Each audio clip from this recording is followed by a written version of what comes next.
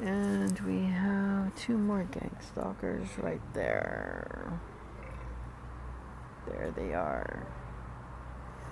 And then we have that one. This is like, this is like a real happening day. This is all happening right here on Virginia Avenue. And right by this place. 1119, I guess it is Southwestern. Uh, this is the other one that's been walking back and forth. And that's Western Avenue right here.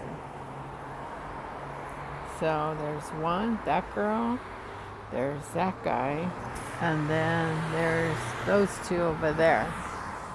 Both all gang stalkers right here.